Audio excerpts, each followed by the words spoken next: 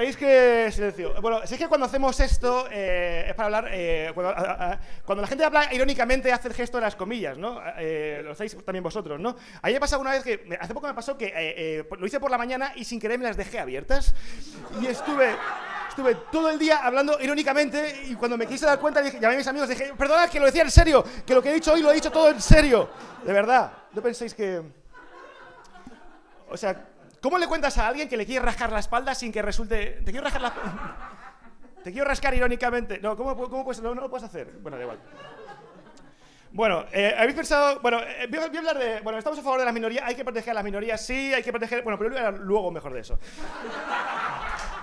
Porque, porque aquí eh, siempre. vo- vo- vo- Vosotros sois de, cuando de cuando os pasa algo, lo, lo miráis en Google, ¿no? Y todo es cáncer, ¿no? O sea, que siempre que te pasa algo, Google cáncer, siempre es así. O sea, yo las 80 veces, o sea, que lo miré la semana pasada y ninguno ponía. eh, nunca dije, eres hipocondríaco, no, no, siempre ponía cáncer, ¿no? Eh, Acabé buscando hipocondría y me, y me dijo que era cáncer también.